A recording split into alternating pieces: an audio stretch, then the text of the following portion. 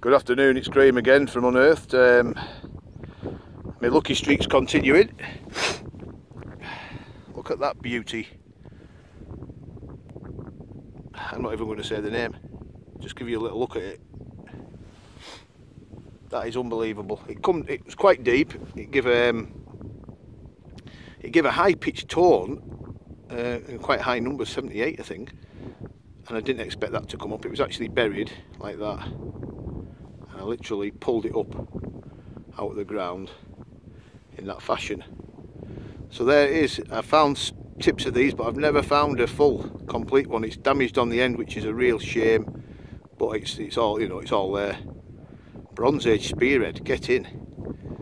And my mate Gaz has just found a fantastic Denarius. Not too far from it, so I'm going to give this field another uh, another couple of hours. So there you go, folks.